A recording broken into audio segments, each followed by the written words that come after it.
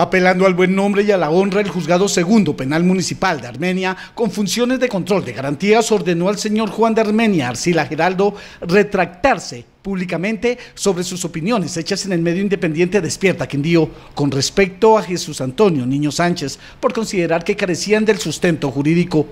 El litigio al parecer llega a su fin, sin embargo, habrá que esperar la nueva edición del mencionado medio para confirmar o no si habrá retractación.